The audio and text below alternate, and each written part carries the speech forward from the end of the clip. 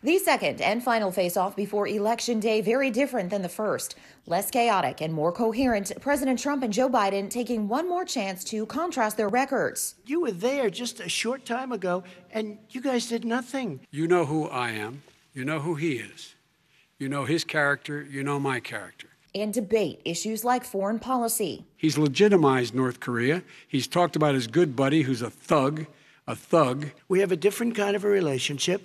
We have a very good relationship, and there's no war. In the way forward from COVID 19. There are some spikes and surges in other places. They will soon be gone.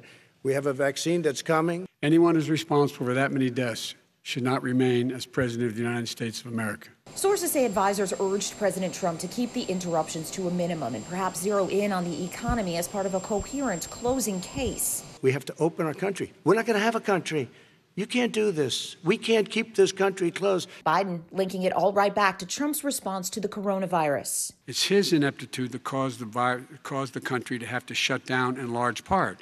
Why businesses have gone under, why schools are closed, why so many people have lost their living, and why they're concerned.